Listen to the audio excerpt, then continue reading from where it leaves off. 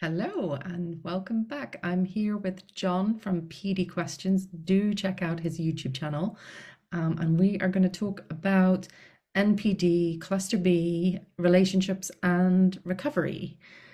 So, John, do you want to say why you started your YouTube channel and what what's important to you to get across about having a cluster B diagnosis, being diagnosed with NPD, and the many years of wisdom that you have acquired.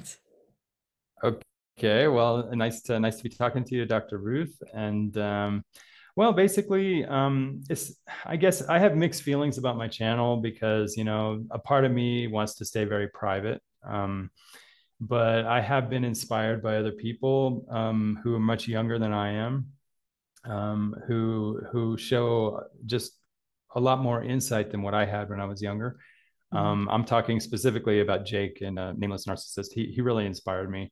Um, I think he's very very smart, um, probably exceptionally smart, dangerously smart, and um, I don't know. I guess I just I saw something, you know, just the the courage of just putting his situation out there, and I thought to myself, you know, I've had such a um, such a difficult recovery, such a very I think unnecessarily long recovery, a lot of difficulty with therapy, and um, I was also really inspired by uh, um, Spirit Narc, who's a, a, young person about Jake's age, really young and mm-hmm. really smart too, and really talented.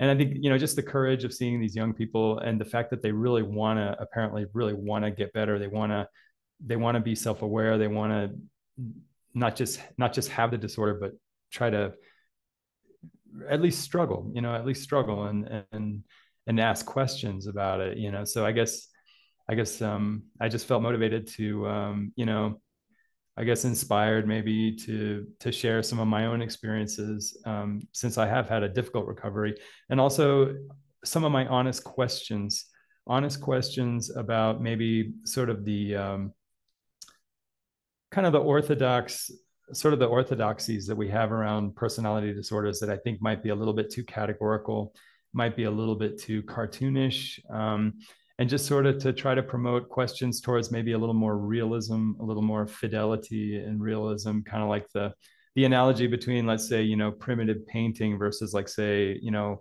like fine art you know getting getting towards a little bit more realism more nuance um, and um, and for me i guess the most important thing is that um, i have gotten to a point where to me like the just the diagnostic criteria just the description of the disorders I find that to me that's almost very very different. It's very very different from how I experience the underlying psychology of the disorder. And so I'm I'm very interested in trying to stress how you it's just like driving a car. You may end up with your car pulling to the left, okay?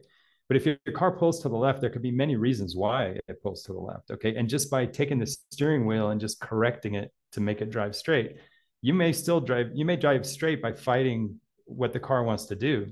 But that doesn't mean you're fixing the suspension problem or the problem you might be having with the tire or the oil or the air pressure or whatever. And so I I focus more on how I feel is like the analogy to the problem with the suspension or the tire pressure or the the alignment, let's say.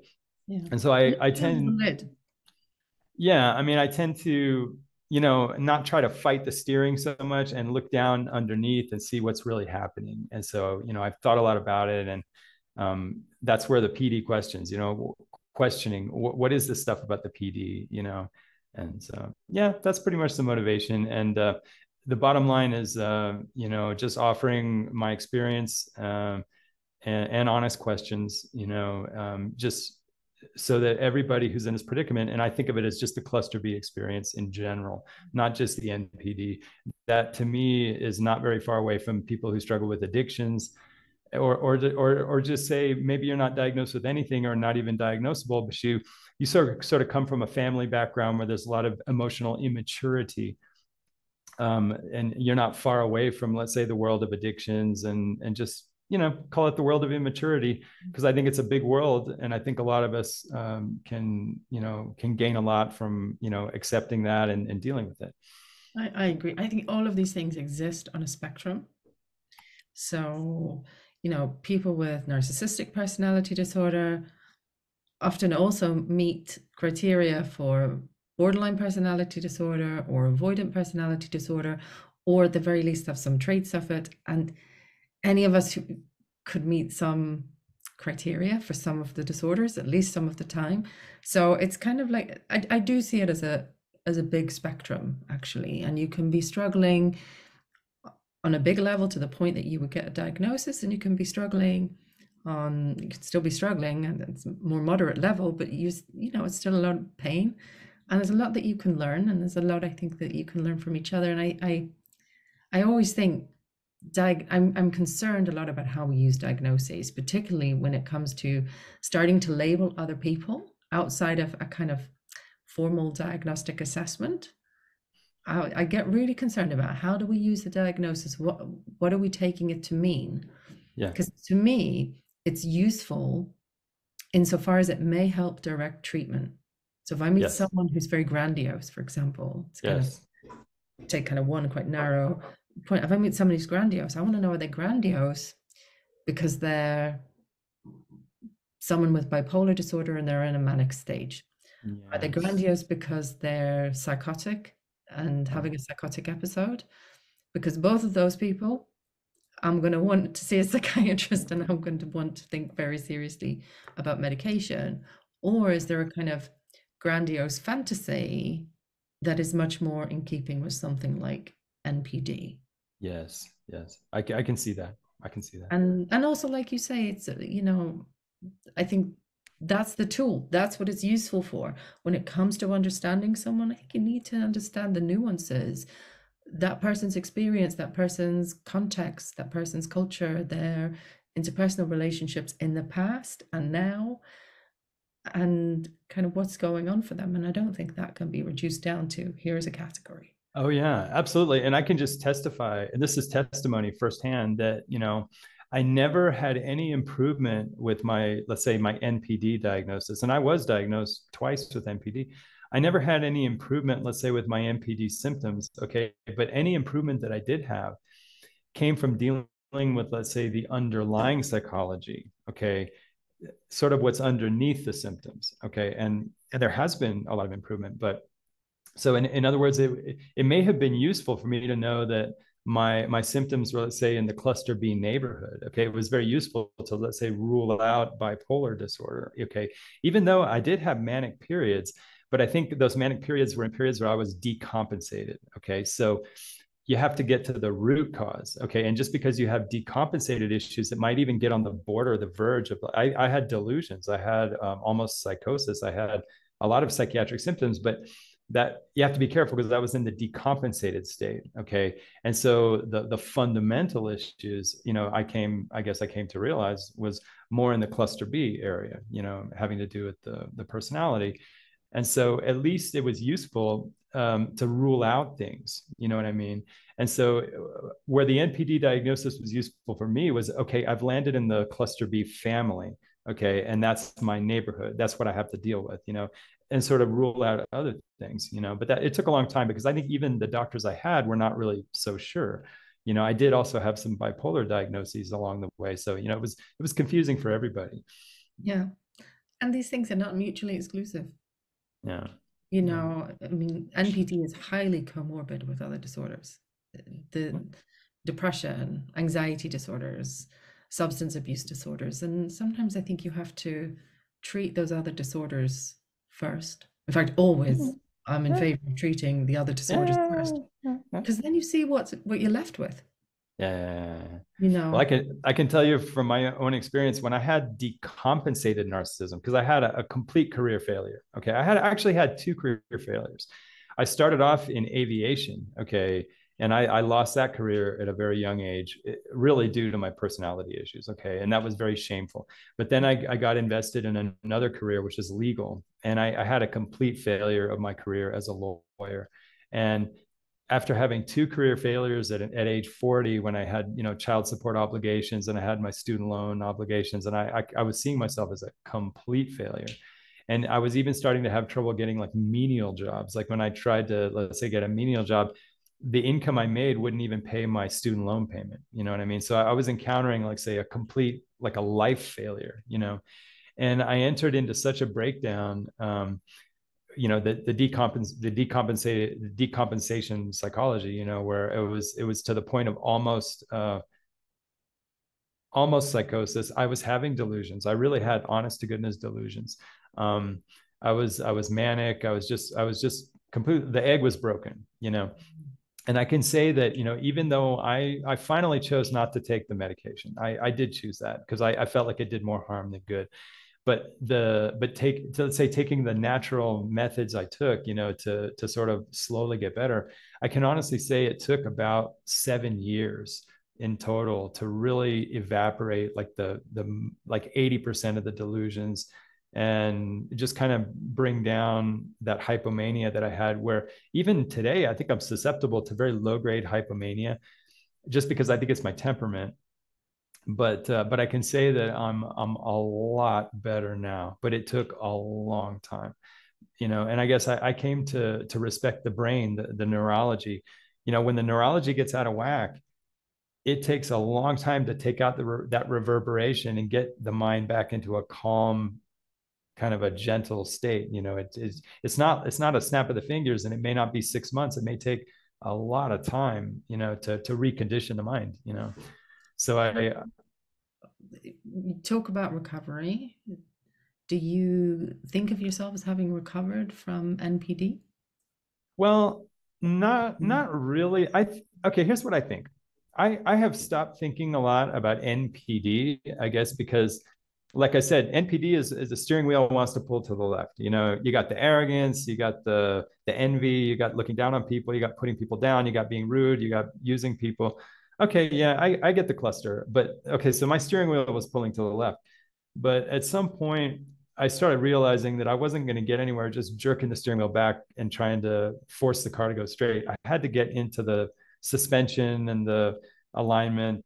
And so I've kind of lost interest, I guess, in the NPD because I realized that's not the answer for how would I say that was the answer for maybe sort of understanding what neighborhood I was in. But but to really get better, I had to get down into the guts of the car, and I sort of decided, I guess that I, I guess I realized that if I was really going to even get better with those symptoms, I had to fix the underlying uh, mechanics, I guess. And so you know now it wasn't like i just had a uh, an inspiration and an illumination. It was through trial and error.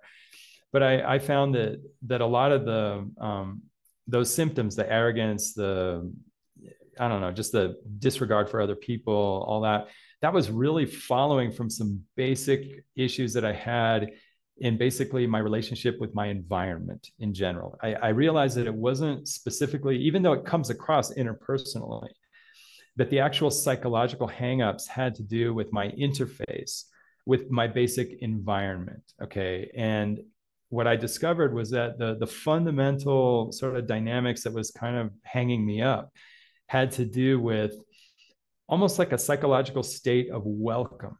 And, and, and it's funny because we use the word avoidance very easily. Avoidance is almost like the fast food jargon you know? But we don't mm. really think about what it means not to be avoidant okay? And i think not not being avoidant is almost like a neutral term okay?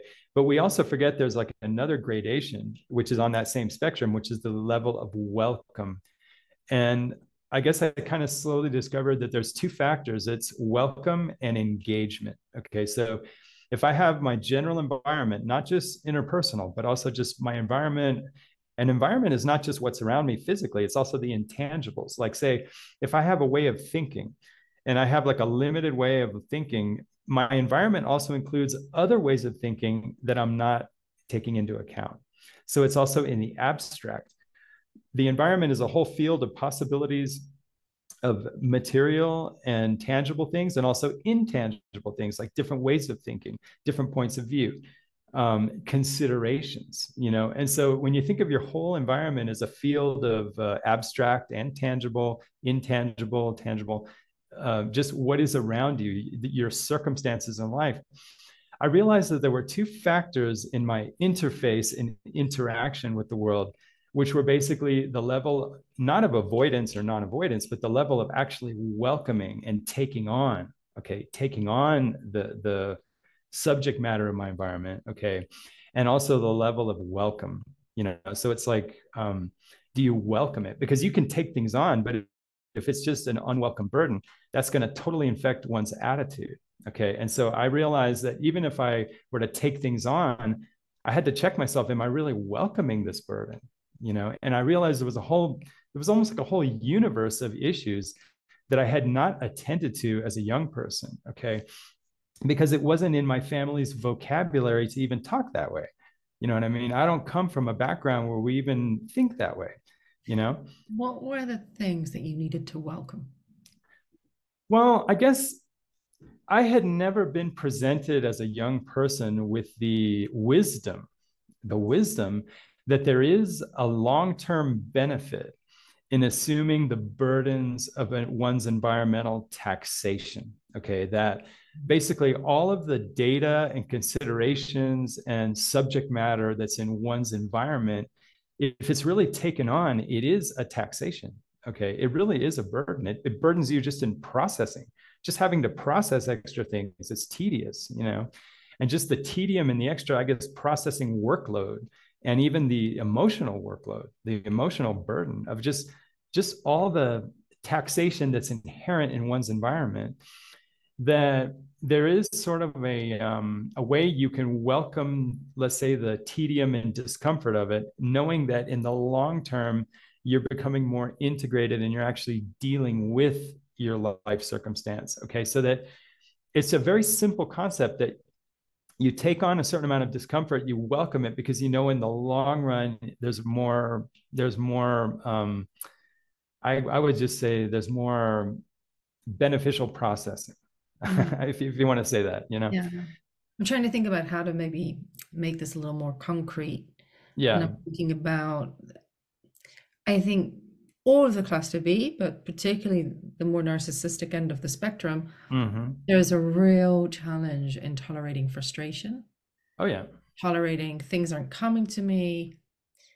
Yeah. I've done this and I'm not at the top already. I get it. And the kind of frustration, the irritation, right. the boredom. Um, right. and, and actually, I think you're right. Those are not easy experiences for anybody, but I think there's a real need to like, I welcome this. I welcome the experience yeah. of not knowing what I'm doing, or I welcome the experience of being at the bottom in my yeah. workplace. Yeah. Because that will those are the things that will help me learn. Those are the things that will help me grow. Those are the things that will give me new yes. experiences. And yes. I think there is a real need to learn that kind of frustration tolerance for for yeah. Actually.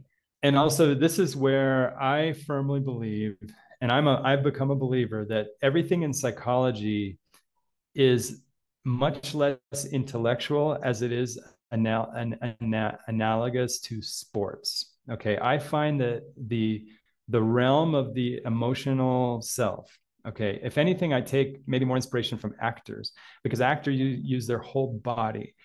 And I think I think actors might even think of themselves, you know, my body is my vehicle. It's almost like an athlete, you know, and in the sense that I have come to believe that even if you can intellectually understand, which a lot of people do, a lot of cluster B people understand intellectually, most people, that you know, if you if you take on a burden and if you sort of work through it you're actually generating sort of um, you're generating synthesis. You're you're generating advancement in the world. You're generating sort of a you're you're taking irreconcilables and you're joining them and and unite eh, sort of working them together. You know what i mean? So like you're you're you're sort of um how would i say? You're you know, like they say in the the prayer of Saint Francis, you know, where there's discord, there can be union. You know, I think that's a that's a phrase that we all understand. You know, like where, where how many discordant realities are there, and and how many how many times do people actually join them and fuse them and synthesize them together? You know, so that that process. So I think we all know intellectually that if if you if you take on the burden of things that are uncomfortable that are that are dissonant that are that are problematic and you work through them you can you can sort of build bridges everywhere. You can sort of uh, you can sort of mend mend uh, you can mend tears you know what i mean? You can you can fix things. You can you can make things more integrated you know? And so like we all understand that intellectually but i think if we don't have the conditioning to do that because it's a sport it's more than a sport. It, it is a life grueling uh, if you don't have the marathon the marathon conditioning then it's just an idea. It will there's no way to implement in other words i could say well i'm going to go walk 16 miles. Well if you're not conditioned go for it. You're not going to make 16 miles or or you'll you'll do it and your knees will hurt or your legs you'll end up with problems with your joints. You know you have to you can't just walk 16 miles. You can't just do anything and so i think that you know psychologically um, we talk a lot about removing pathology, but I don't know that we talk enough about conditioning people for the actual the actual enterprise of actually living the the life of someone who has to really perform you know in the sense that the body it's almost like okay let's we can if you have like sports medicine if you have a, a, a an athlete who has a problem with their knee oh the first problem let, let's get the inflammation down but then the next thing is you got to get him back into the training with the physical therapist to get him back up to that high level of performance. So it's kind of like, I think a lot of psychology is sort of like, okay, well, let's get the inflammation out. Okay, take away the pathology. But then you also have to go to the next step, which is get to that physical therapy to get him back into performance level. You know, so I think maybe we ought to think of three levels of, of conditioning, which is the the degraded pathological level the the neutral i've removed the the pathology and then the conditioning level you know which is the because the, the actual living of life i think is actually kind of almost like a high level and I, I don't say that in the in the in the way of narcissists like oh we yeah. i try to create a vision of people as being like these these like uh kind of like bigger than life you know like superior people yeah. but, but this is where but, i think the kind of the diagnostic concepts aren't sufficient I mean, they give you, I, I like your analogy, they give you the neighborhood, right? But yeah. I, I think recovery, if, if that's even the right word, I tend to think more about growth. Okay. You know, because recovery kind of implies that there was health to begin with. Okay. Okay. No, no, I, I'm on, I'm on board with that. Personality yeah. disorders, there isn't. You're not recovering to a, previous yeah. state. You're I, you're wanting that. to build the analogy I often use is that it's the difference between like if you treat someone with PTSD. Okay. Um, it's like yeah, they yeah. they've had a train, it's on the tracks and it's got derailed. The tracks are there, you just want to put the train back on the tracks. Yes. Not an easy task, but the tracks are there. Yes. Whereas when with the kind of personality disorder presentations the tracks are not mm. there to begin with. Yeah the tracks yeah. are seriously screwed up. You've got to start yeah. you've got to you've got a lot of building to do and i oft i really see recovery healing i don't know what the right word would be but yeah, that process is one of growth and development. It, growth and development. Yeah development growth and development and it's like sometimes you got to work on the train sometimes you got to build the tracks and i think you're right it comes in stages. Yeah, and it's it's not linear and it can't be predicted and it's it's human and it's yeah. you know you can't prescribe it uh, and interestingly of all the people Marsha Linehan who developed dialectical behavior therapy would took that view okay. her view was that the dbt skills that she developed should be the first stage of therapy Okay. And then people should work on their trauma. And then they should work on building a life worth living. And then they should work on spiritual actualization. Well, you know, it that makes a lot of sense to me just from my experience. Yeah. You know. And I can almost I could I can say for sure, like um, you know, how can I say this? Um, I, I just I, I would prepare so like uh, with all due respect, like people are free to disagree, but I mean, if somebody was open to this, I mean, I, I, would possibly suggest to somebody who's who who knows that they're struggling with cluster B, you know, that that you may have this fantasy like, oh, I was this perfect child, and then something happened, and then I became this fallen person, you know. And also just to suggest that maybe at such a young age, maybe there never was an opportunity to to reach levels that that you could you could reach. So it's not like you're recovering something like a like a lost um, I, idyllic notion of what I was before before I was injured, but that I've never had an opportunity to fully actualize, you know, in what we mean by being a person, and that the idea of getting better is is not just removing, let's say, the pathology, but actually emerging to then actually actualize as a person and be more than just a person who doesn't have negative symptoms. You know what I mean?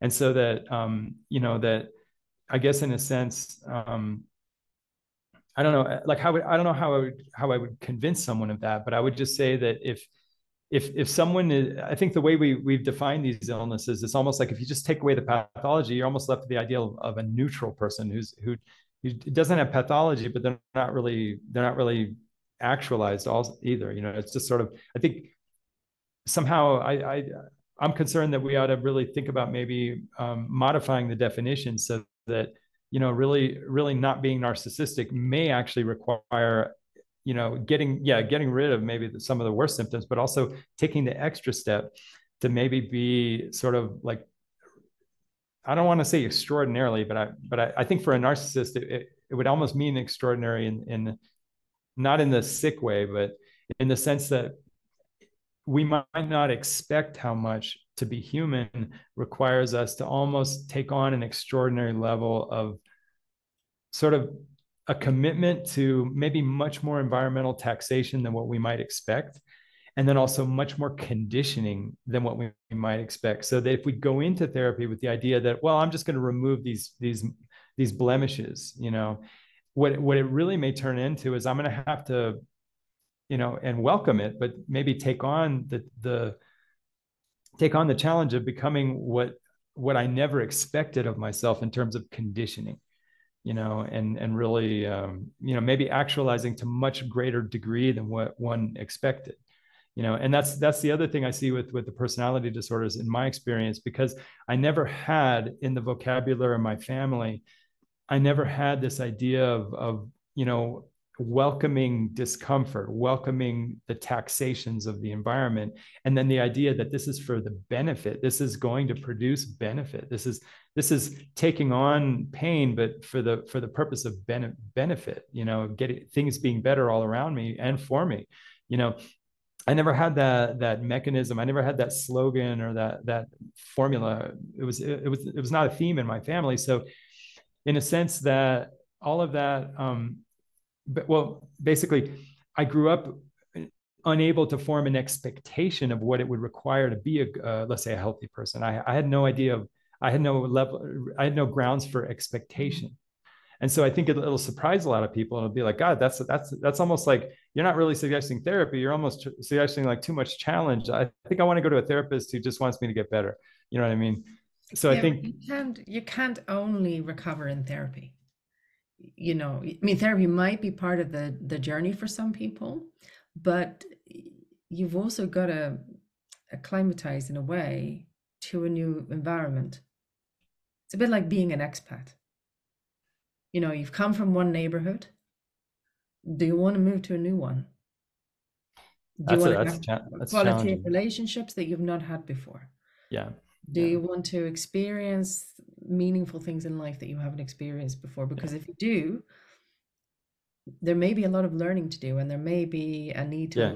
leave behind old habits. You might it's like learning a new language learning a new oh, culture. oh, yeah. there's new customs there's new ways of being. And you know that's really true. You know i work a lot with people who are narcissistic. I also work with people who have been in relationships with highly narcissistic people or who are repeatedly in those kinds of relationships. And it's it's similar in a way in that you have a certain kind of conditioning. You oh, have yeah. a certain way of seeing the world and being in the world and seeing yourself and being in your relationships. If you want to change that it's like moving to a new country. Yeah well that's that's that's a familiar that's that's a real challenge. And i'll just say my first impression when i hear that this will not just affect people with NPD. This will affect anybody who has. Let me let me just say this. I, you know, I have come to see myself not. I'm, I think less of myself as a person with NPD. I think I think of myself fundamentally as a person who grew up in a very immature emotional environment. Okay, and I think we all know that all of us who identify with, like, say, coming from an immature emotional environment, I think we are not we are not just people with NPD. Some of us are people that don't have NPD, but but we do have that mm-hmm. that identification that we come from, let's say, an environment that that is our home. It's like our home identification. We identify with with a with a world that is kind of emotionally immature. Okay, and that's our home location. And even if we're aware that it's emotionally immature, we're attached to it because we feel that's our home you know and so i think that may explain why a lot of people who don't have npd who do not have npd sometimes end up attached to people with NPD because they may not have the same, let's say, expression of their of their immaturity, but down deep, the immaturity is at least comes from the same home space. It comes from the same kind of kind of background, you know.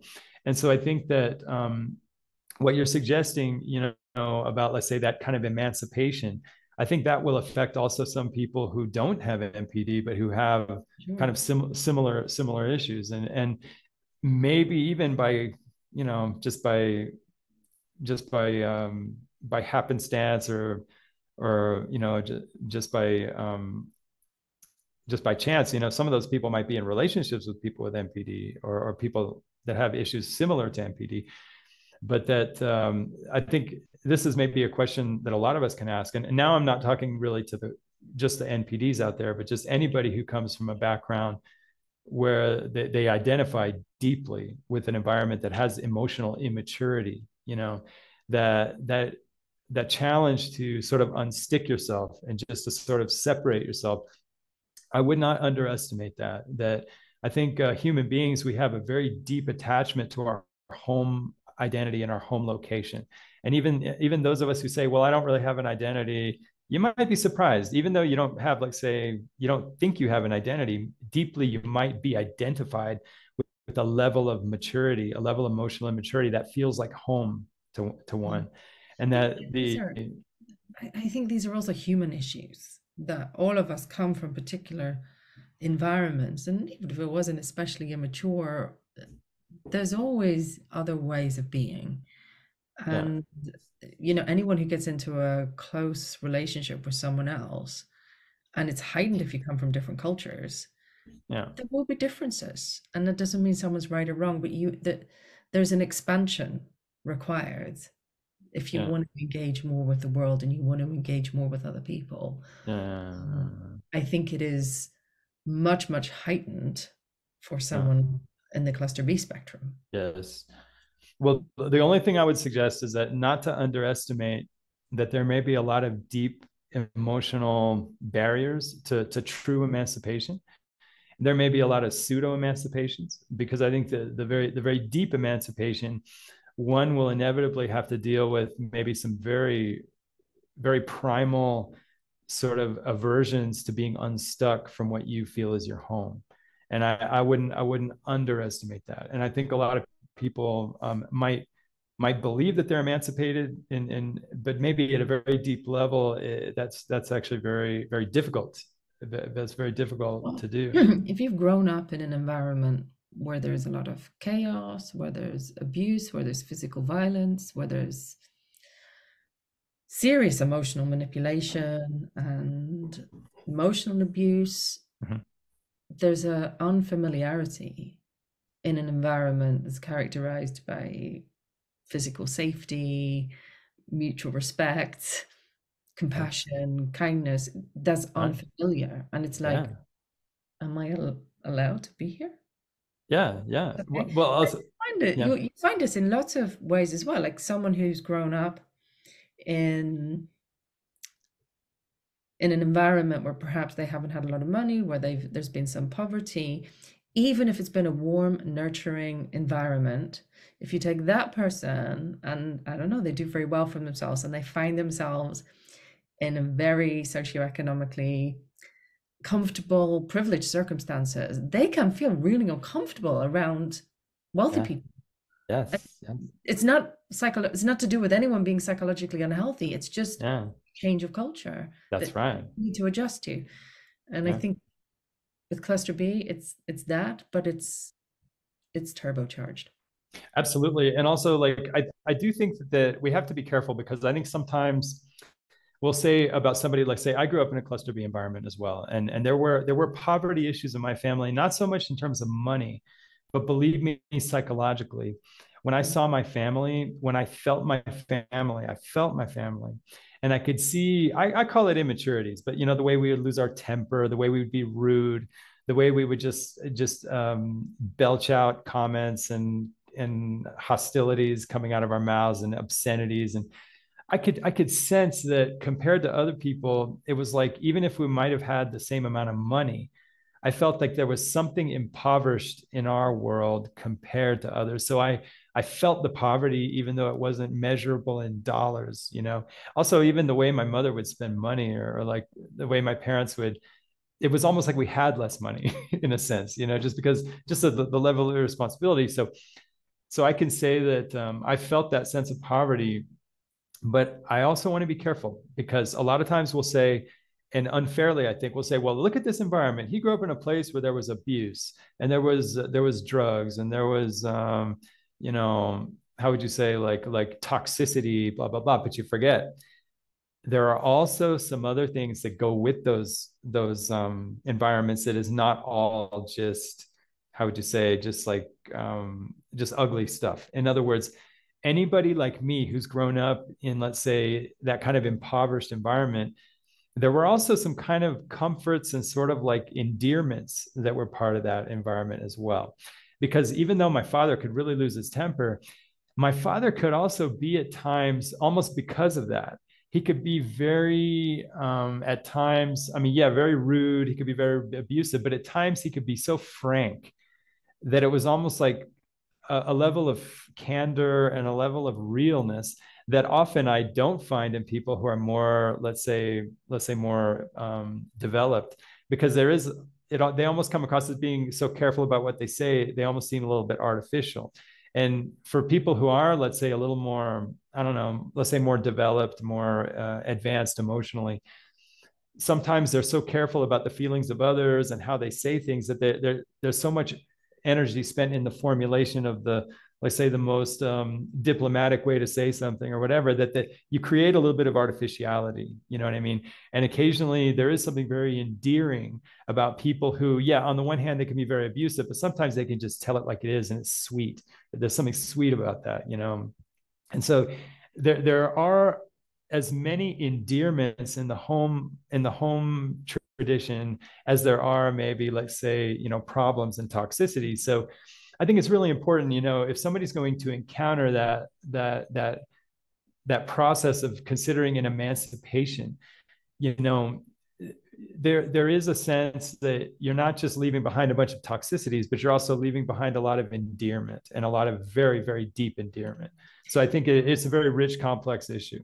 Yeah, and I think you're right. And I also think it's not necessarily helpful to think about it as I mean, the metaphor of emancipation is helpful. I know, I know, I know, I know. It doesn't mean that you have to abandon your family or where you've come from. Yeah. You know, there's often a need for integration. It's it's, it's really interesting for me. I get a lot of you know, on my channel, as you know, um, I talk a lot about narcissism and more nuanced perspectives on narcissism.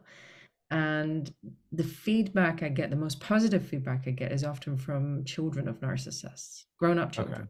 Okay. Okay. Because what they say is, I don't want to downplay how difficult and harmful my parents' behavior towards me has been at times. Right. Um, yeah. However, yeah. they are still my mother or my father, and I still love them dearly, and they are not evil. Yeah, I, I understand that. They are difficult, but there's yeah. but it's like that integration, and it's also like, well, the possibility is there for you to appreciate them for who they are. Yes. And yes.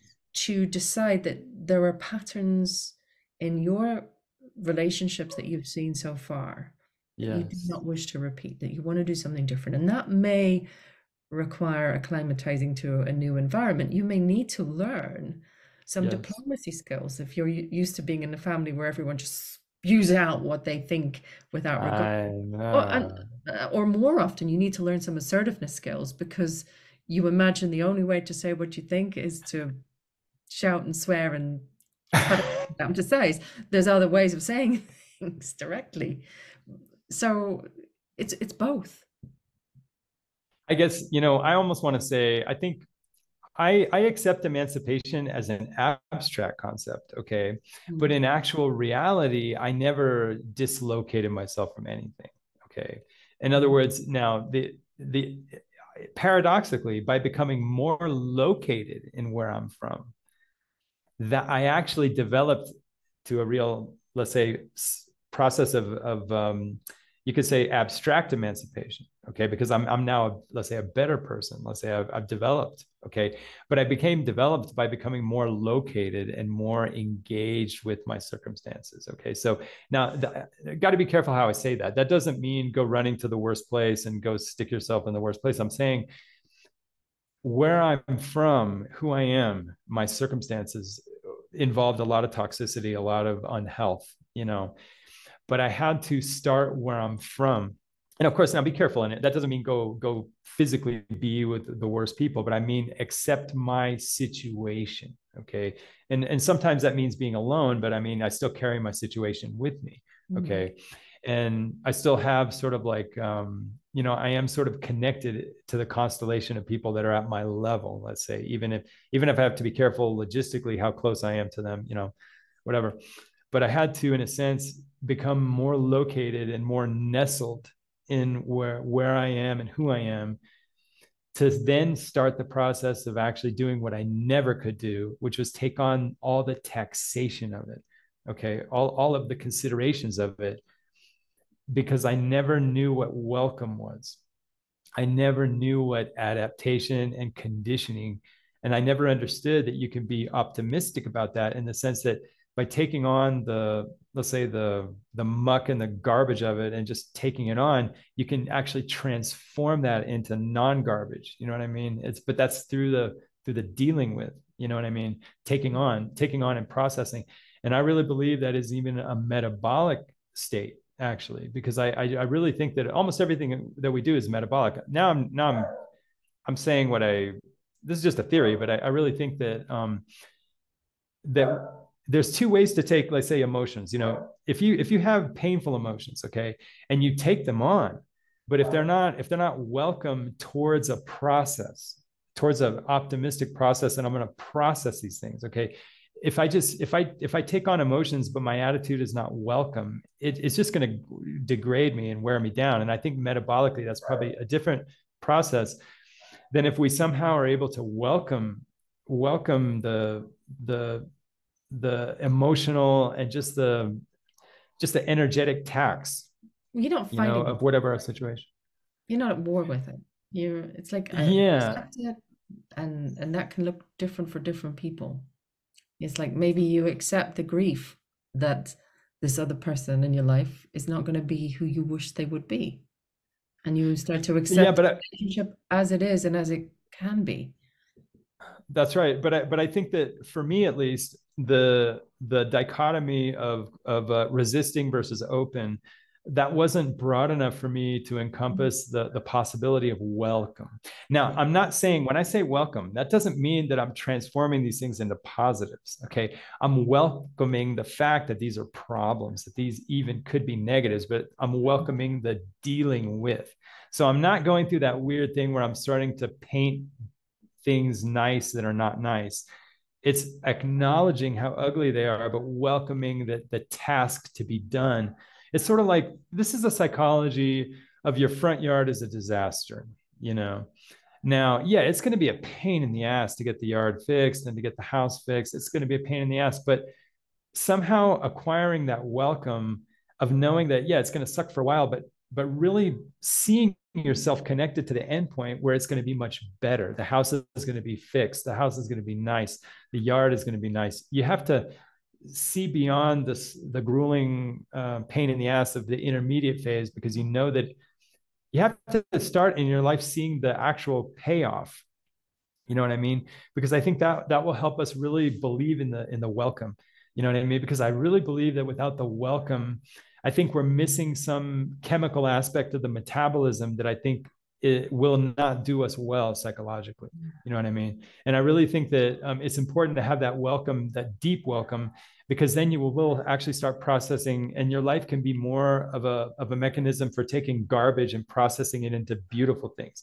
You know, and I think the the analogy would be to me like the compost in the garden. You know, the the the you know the biological waste that becomes the healthy soil you know what I mm-hmm. mean? And I think the more we can sort of like see these things in, in life and believe in them in ourselves, I think we can we can discover like metabolic dimensions that that would not would not be even accessible to us through like or the ordinary categories that we see in, in psychology you know the way that the, what i've experienced yeah talk to me and and, and i, I want to say as well that i think both of us are talking in metaphors and that the realities of people's lives uh, I want to say this because I know. I know. I know, I know, that I will get comments. Are you saying that I should stay in an abusive relationship? Are you no, no, no, no, not no, no, cut off my abusive parents?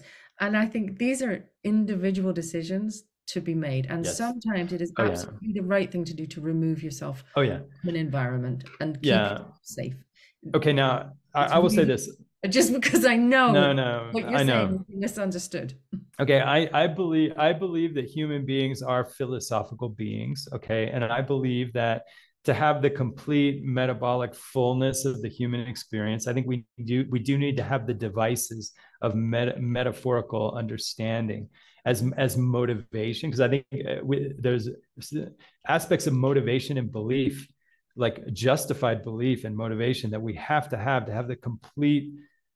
Um, not just the lack of pathology, but all the the healthy soil that we need, all the vitamins that we need. Well, so we there, there is made out of shit. if you want to I know, but but there's the yeah, so so I do believe that we need a certain level of phys- philosophical health and and metaphorical richness, but but out of responsibility. Okay, to anybody who may maybe un- misunderstand what I mean. Let's be very practical now. Let's say if I am a person who is not narcissistic, okay, Mm-hmm. But if I have been in a couple of relationships that really scared me because I was with people that I loved dearly because they had some good qualities, but they were also very narcissistic.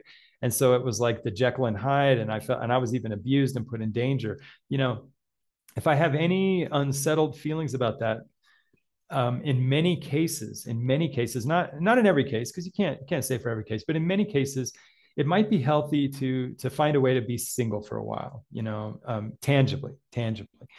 But in being single and in being physically separate from that person, not to be in the delusion that somehow I don't have deep home identification with the neighborhood of cluster B. Okay, not necessarily the NPD, but I may in my soul, even though I've gotten myself away and I, now I'm working on being single, not to fall into that false feeling of, oh, now I'm in the healthy zone. I've gotten rid of all the bad people, but also somehow to explore and see how maybe I have some home identification that, that I have deep identification with, let's say that the neighborhood, the neighborhood of cluster B, um, or just the neighborhood of emotional immaturity or things that I can develop, you know. And so that the way I vaccinate myself so that that doesn't happen again is I need to go through some personal development, maybe to become more realistic in life, to get better reality testing. Maybe if if my life is and like an, the analogy to like a front yard that, that needs to be you know like a garden that needs to be tended tend to my garden you know in all the ways that i can you know what i mean? And try to make myself a more realistic more resilient person who's really engaged with the world at my level. You know what i mean? Like if, if i have emotional issues maybe i need to practice maybe taking in information that's not very savory to me. You know maybe i have an issue like a lot of people like i tend to process information better that i that i feel comfortable with. Maybe i don't process information that i find challenging you know? So just as an exercise you know when dealing with politics when dealing with issues maybe try some other points of view just because other points of view are other aspects of my environment that i could be neglecting you know what i mean? And and maybe work on maybe doing some I don't know, like doing some exercise that I don't feel like doing, maybe getting eating healthier food that even if I prefer to eat nicer tasting food, you know, just kind of doing things to sort of stretch and to take on a little more of the the the burden of the of the the taxation of life, you know, and and think of it with that optimism, like I'm I'm really processing a better soil by taking on more garbage, let's say. You know what I mean? And so just having that personal, that sense of personal, trying to actualize myself more as a complete person and then you might find over time that you don't you don't feel like you've you've denied your background or you've denied your home identification but you might find that you now start identifying with other people and sort of connecting with other people at a different level of maturity you you're know expanding you're expanding um and i think what i'd also suggest to someone in in that position and I and actually for people with NPD as well, is that sometimes you need to explore other neighborhoods. Yeah. And you don't have to explore them by moving there completely. So you don't have to get in a, a romantic relationship uh, that's deeply intimate and committed. I would say explore friendships, explore, you know, the relationships, you know, all of us as humans need multiple relationships and we need community. So, yes. you know, it's not be single and be on your own and be an island and sort your issues out all by yourself. It's lean on friends.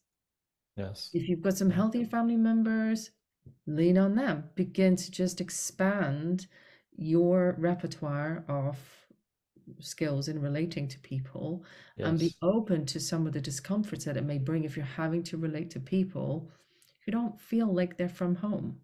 Yes, yes, you know, absolutely. it's like the person yeah. who's grown up in poverty might need to learn how to relate to wealthy people. Yes. And yeah. you know, I'm not saying anyone's right, anyone's wrong. It's a new experience, and just to be open to that, and like you say, the frustrations of that, and the the suffering of that, and the discomfort, welcome it and be open to it and it may expand you and broaden your. Relational skills yes i can honestly say that one of the things that's helped me the most and I, I slip all the time okay this is not like i have it perfected but something that has really helped me out a lot is learning how to welcome just garbage feelings that don't feel like they're identifiable because a lot of my feelings are so garbage mixed up that I don't even know how to classify them. And I and I have this anxiety, well, I need to classify how I feel before I can process. Just let things be unclassified. You know, that's another level of dissonance to have unclassified, sort of unsorted, un, you know, uncategorizable garbage and just kind of let it be uncomfortable, but, but but let it let it be and and welcome it. And also understand that we don't have to intellectually process anything. Sometimes things can just be within us and we can metabolize them. You know what i mean? And i mm-hmm. can say that i like what i just like what you said about you know sort of going to other neighborhoods because i think a, a, very common repetitive neighborhood for people with cluster b issues is this idea of i always have to have a significant romantic partner.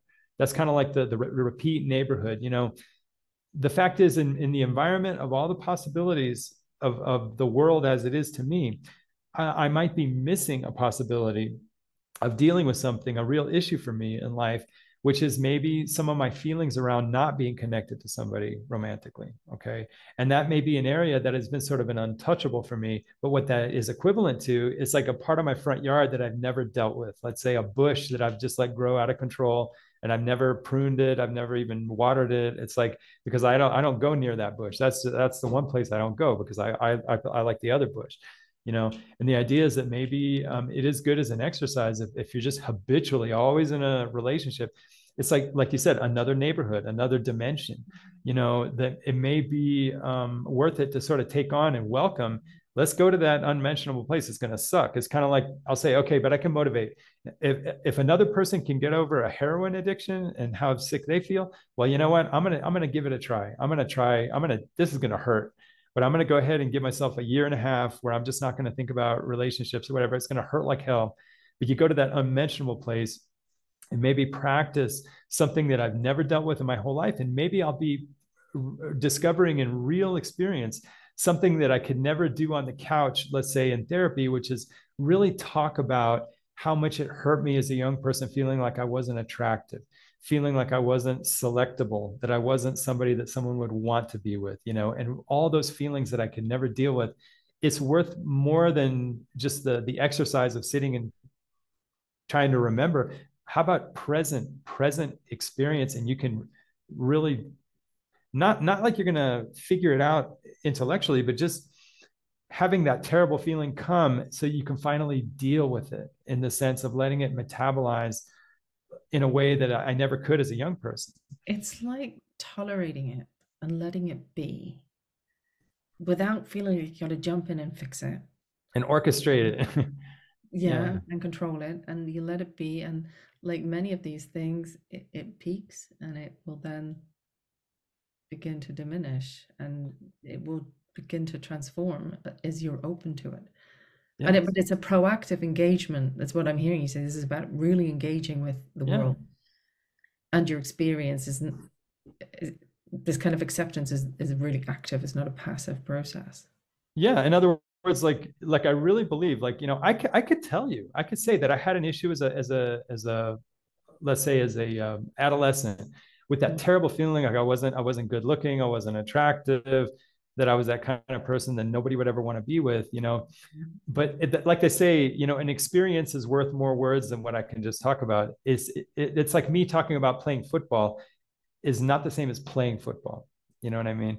And so, yeah, we, I can talk about it, but now there comes the thing of maybe there has to be a time in my life where I actually re-experience it or get away from that protective series of relationships that I'm using to avoid that place that I that I don't want to go, because maybe it's a place that has has not been integrated yet, you know, and it deserves to be re, really experienced in real time and maybe I have to go through that because with the optimism, with the philosophy that there is good to be gained by letting that in and knowing that there's a metabolic, you know, and knowing that there is a processing and believing that we can, you know.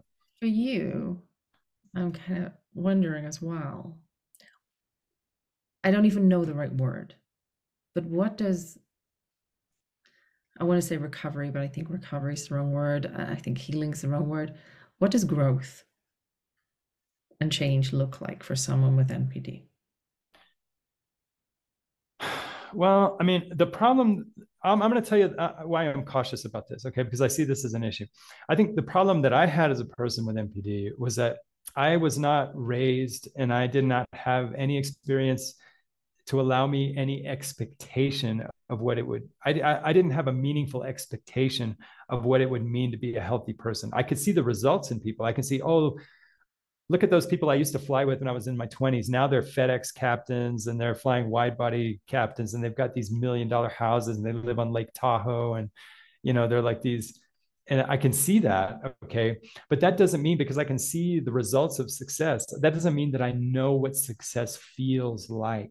You see, I don't have any way of knowing because I've never been, let's say, six, really healthy. You know what I mean? So when you look at it through the eyes of envy, you don't have the resources to know, have any expectations of what it would really take to really be that way, you know, or even somewhat like that.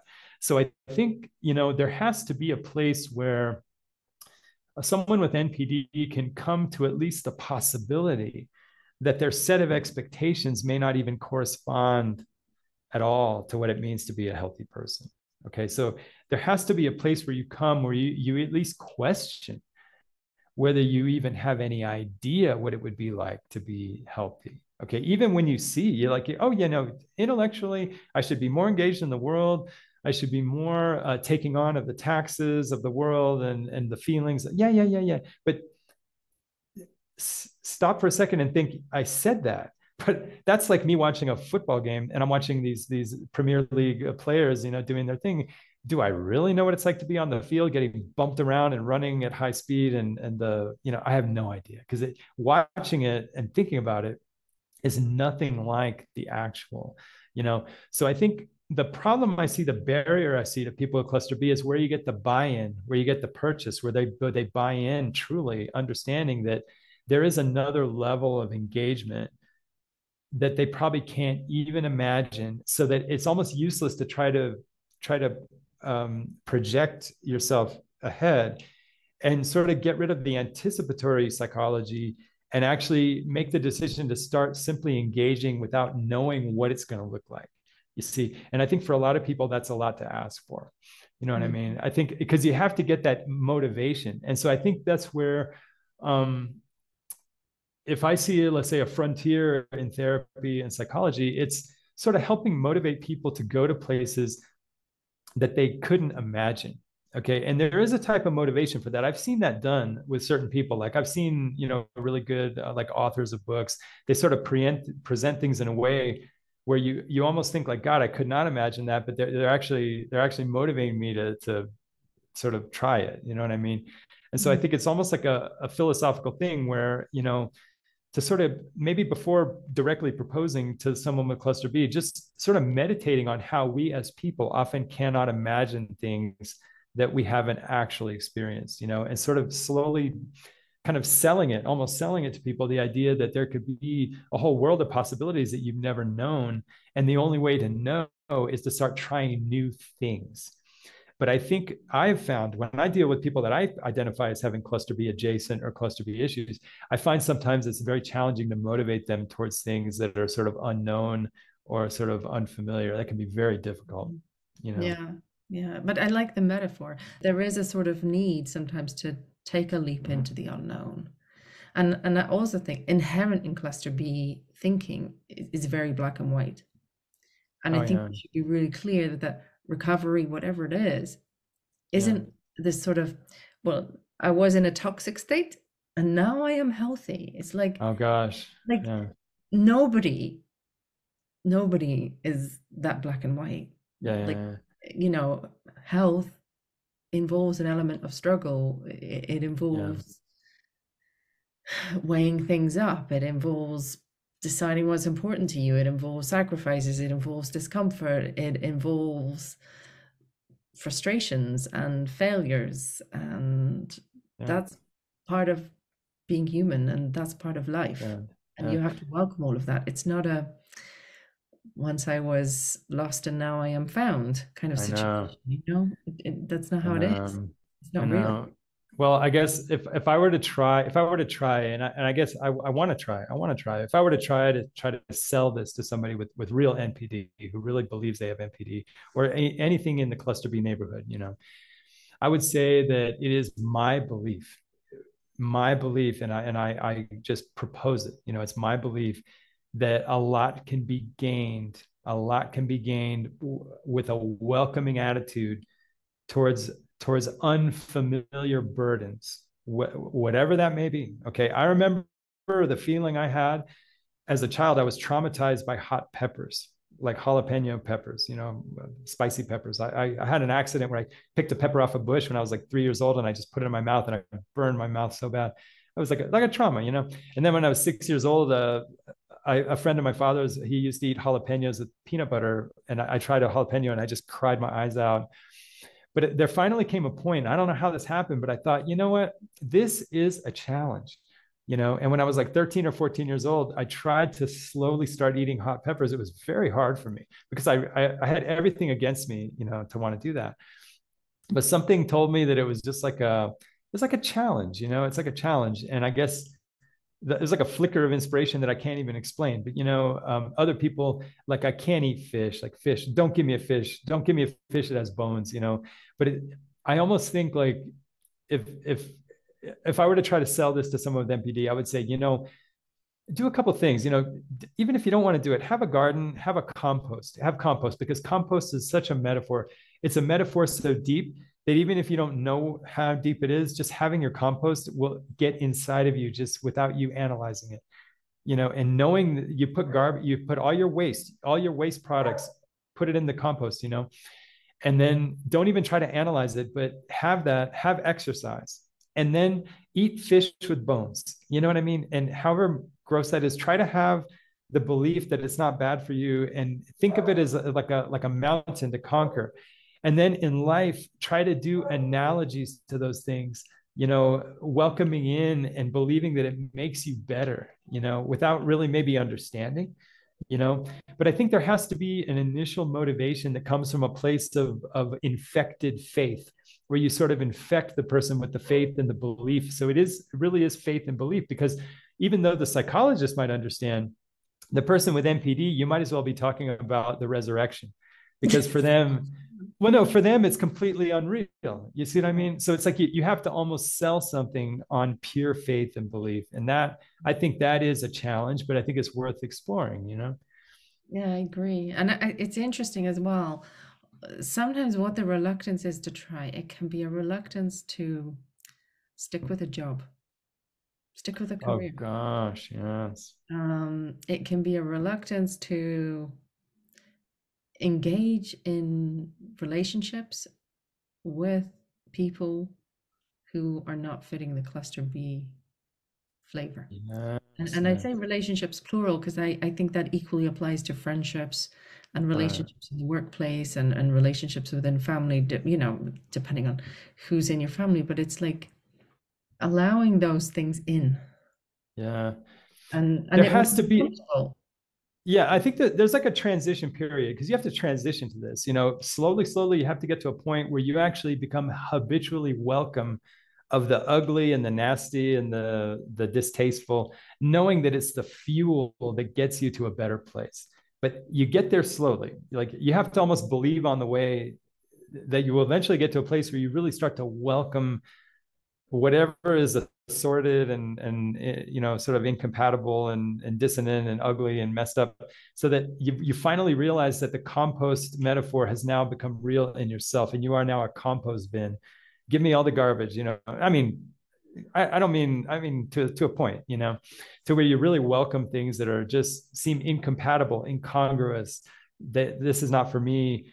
And you know it doesn't become indiscriminate but you just become more able to you know become the compost bin i guess. And i i, I don't know how how to stress this but i really think that along with all the motivation i think it would really have almost shamanic uh, value for people to really dedicate themselves however much they don't want to to a compost um, experiment in their house you know like a i don't know how some people have apartments so you'd have to be very creative but to actually have in your in your dominion the actual process of garbage being converted into soil I think uh, I think that that metaphor is so powerful that just talking about it doesn't possibly uh, capture how much it, really. Uh, and also to think that the human, the word human, the word human is similar to the word humus. It actually means from soil. You know what I mean? I mean, it's so deep in our identity. You know what we are. You know what I mean? So. Yeah. I mean, it's just something to think about, but you know, but I, I, I do, I do think that um, I don't, I don't see, I don't see the the process of therapy and healing is complete without the ability to inspire people towards things at, at the level of belief and faith at that in that sense. Because you, you really have to respect that for a lot of people this is completely unknown.